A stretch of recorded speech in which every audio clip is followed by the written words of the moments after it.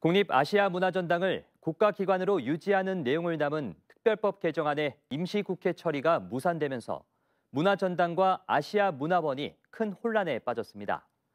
당장 문화체육관광부가 법이나 전환 작업 추진에 나선 가운데 앞으로 개정안이 통과될 가능성도 배제할 수 없어 조직 혼란은 물론 올해 사업 추진이 제대로 될 수 있을지조차 의문입니다. 보도에 이기혁 기자입니다. 문체부가 아시아 문화전당 법인화 작업에 나섰습니다. 1월 임시국회에서 개정안 처리가 무산되면서 법인화를 미룰 수 없게 됐기 때문입니다. 문화전당 공무원과 아시아 문화원 직원 등에 대한 인력 검토와 함께 예산 집행 시스템 변경 작업에 나선 것으로 알려졌습니다.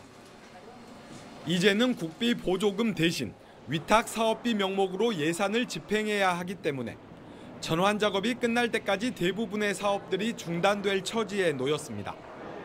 직접 사업비로 내려온 것들을 아마 다 위탁 사업비로 전환을 시켜야 될 건데 1월달에 직원들 급여라도 나가야 돼서 협의를 하고 있는 걸로 알고 있어요.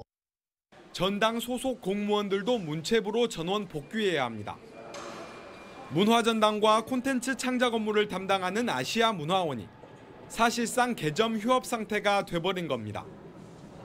이런 가운데 특별법이 나중에 통과되면 지금의 법인화 작업은 중단되고 조직은 다시 국가기관으로 전환되는 등 혼란이 반복될 수밖에 없습니다.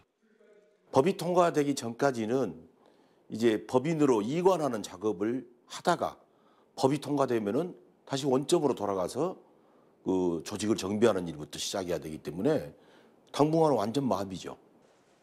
혼란이 일더라도 장기적으로 문화전당의 안정적인 운영과 사업을 위해 지역 국회의원을 중심으로 다음 국회에서 다시 개정안 처리를 추진하고 있지만 결과는 미지수입니다.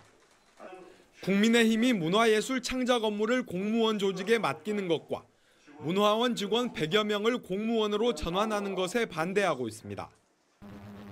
아시아문화원 정규 직원들을 공무원화 한다는 것 자체가 조금 문제가 있다라고 보여지거든요. 고용을 다 승계해줘도 사실은 특혜이고 만약에 그 과정에서 전환되는 과정에서 탈락해도 문제입니다.